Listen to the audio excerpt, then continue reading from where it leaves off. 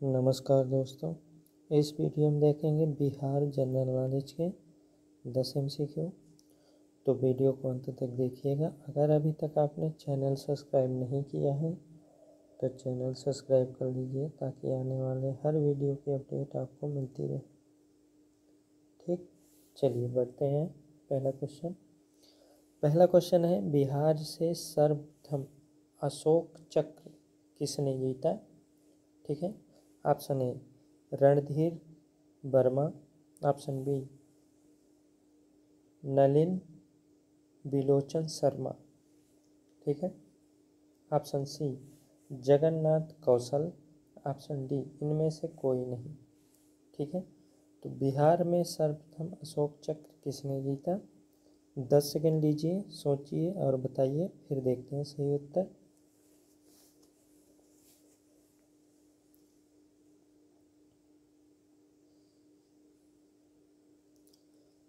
चलिए देखते हैं सही उत्तर। सही उत्तर है ऑप्शन ए, रणधीर वर्मा। बिहार से सर्वप्रथम अशोक चक्र रणधीर वर्मा द्वारा जीता गया। ठीक है? तो ऑप्शन ए, करेक्ट आंसर है। ठीक है? अगला क्वेश्चन। अगला क्वेश्चन है, साहित्य अकादमी द्वारा निम्नलिखित में से किसने सम्मानित किया? साहित्य अकादमी द्वारा निम्नलिखित में से किसने सम्मानित किया? Okay, option A Upendra Jha Vyas, option B Nagarjun, option C Madhup, option D उपरोक्त सभी। तो साहित्य अकादमी द्वारा कौन कौन सम्मानित हुए? कौन सम्मानित हुए इनमें से? ठीक है, चलिए दस सेकंड लीजिए, सोचिए, फिर देखते हैं सही उत्तर।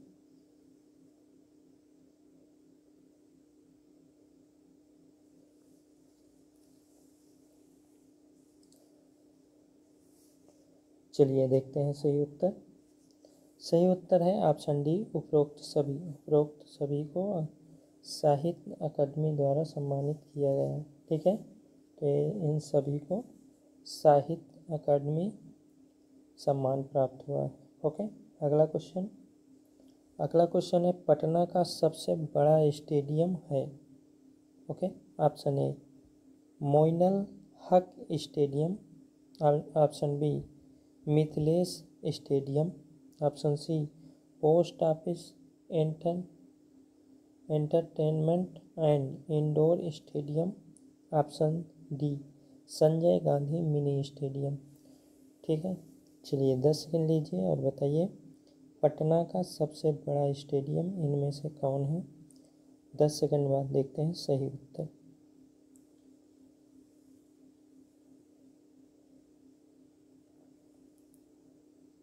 चलिए देखते हैं सही उत्तर।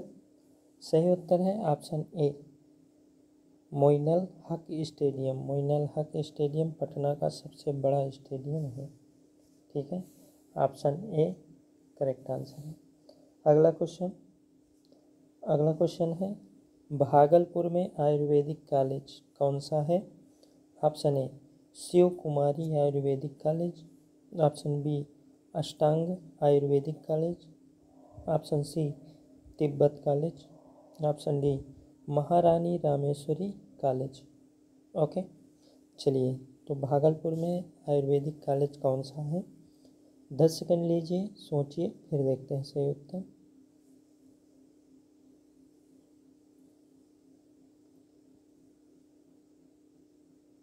चलिए, देखते हैं सही उत्तर। सही उत्तर है option B, Ashtang Ayurvedic college. अष्टांग आयुर्वेदिक कॉलेज भागलपुर में स्थित है। Okay? Option B. Correct answer है। अगला क्वेश्चन। अगला क्वेश्चन है आर्यभट्ट का जन्म कब हुआ? ऑप्शन ए, दो सौ तिहत्तर ईस्वी। ऑप्शन बी, तीन सौ तिहत्तर ईस्वी। ऑप्शन सी, चार सौ तिहत्तर ईस्वी। ऑप्शन डी, पाँच सौ तिहत्तर ईस्वी। ठीक। तो दस सेकेंड लीजिए और बताइए आर्यभट्ट का जन्म कब हुआ? फिर देखते हैं सही उत्तर।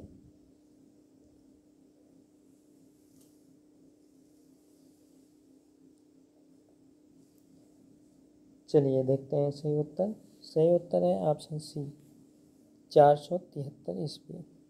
आर्यभट्ट ने दशमलव प्रणाली की खोज की थी। उनका जन्म चार सौ तिहत्तर ईस्वी में कुसुमपुर वर्तमान पटना में हुआ था। ठीक है, ऑप्शन सी करेक्ट आंसर है चार सौ तिहत्तर ईस्वी अगला क्वेश्चन। हम्म बिहार का उल्लेख सर्वप्रथम किस ग्रंथ में मिलता है? ठीक है, option A, Yajurveda, option B, Atharvaveda, option C, Samaveda, option D, Shatapatha Brahmana.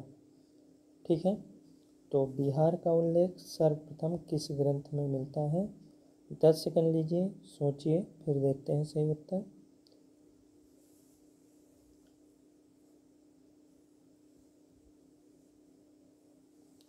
चलिए देखते हैं सही उत्तर।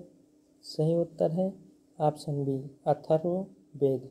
बिहार शब्द का प्रथम उल्लेख अथर्ववेद में हुआ था। Okay? Option B, Atharva Veda okay चलिए, अगला क्वेश्चन देखते हैं। अगला क्वेश्चन है, निम्नलिखित में कौन सी संगीत बिहार में नहीं हुआ? ठीक है? ऑप्शन ए पहली। ऑप्शन बी दूसरी। ऑप्शन सी तीसरी। ऑप्शन डी चौथी। ठीक है? चलिए, दस सेकंड लीजिए। सोचिए, फिर देखते हैं सही उत्तर।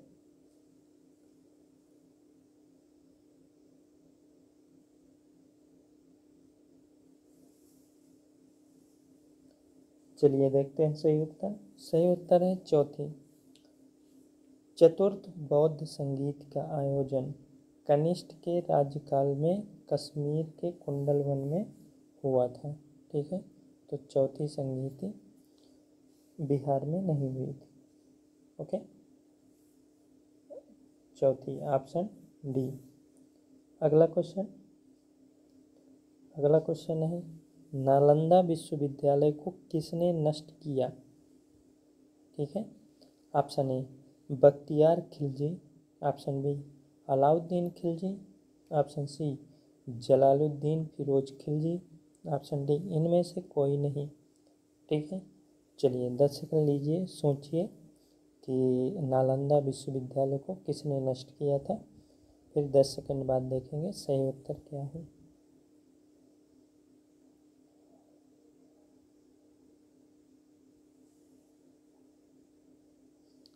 चलिए देखते हैं सही उत्तर। सही उत्तर है ऑप्शन ए, बख्तियार खिलजी। नालंदा विश्वविद्यालय को मोहम्मद गौरी के सेनापति बख्तियार खिलजी ने नष्ट किया। Option A option A, correct answer है बख्तियार खिलजी। अगला क्वेश्चन। अगला क्वेश्चन है, बिहार में नुहानी वंश का उदय किसके काल में हुआ? ओके? चलिए, ऑप्शन देखते हैं। ऑप्शन ए है, Bahlol Lodi. Option B, Ibrahim Lodi. Option C, Sikandar Lodi. Option D, इनमें से कोई नहीं। ठीक है? चलिए दस सेकंड लीजिए, सोचिए, फिर देखते हैं सही उत्तर।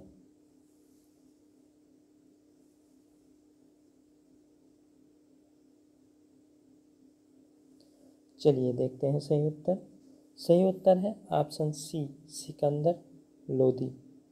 बिहार के मध्यकालीन इतिहास में नुहानी वंश का उदय एक महत्वपूर्ण एवं विशिष्ट स्थान रखता है, क्योंकि इसके उदय में सिकंदर लोधी चौदह सौ उन्यासी से पंद्रह सौ चौदह ईस्वी सिकंदर लोधी का शासनकाल है।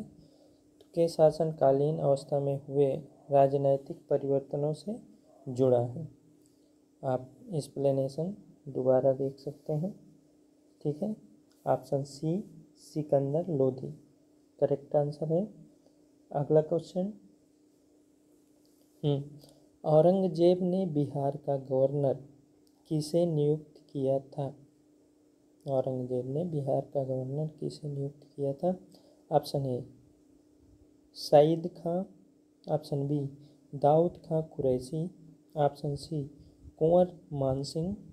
Option D, Mirza Yusuf. ठीक है? चलिए दस सेकंड लीजिए और बताइए, औरंगज़ेब ने बिहार का गवर्नर किसे नियुक्त किया था? फिर देखते हैं सही उत्तर।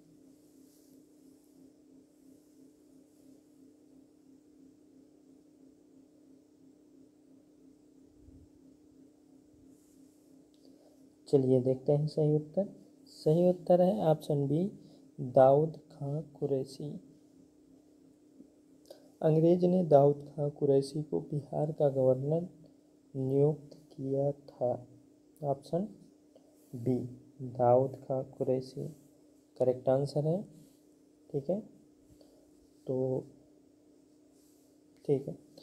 चलिए इस वीडियो के दस क्वेश्चन पूरे होते हैं। उम्मीद है वीडियो पसंद आया होगा।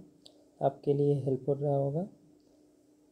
अगर अभी तक आपने चैनल सब्सक्राइब नहीं किया है तो चैनल सब्सक्राइब कर लीजिए ताकि आने वाले हर वीडियो की अपडेट आपको मिलती रहे। ठीक है? चलिए मिलते हैं अगले वीडियो में। तब तक के लिए बाय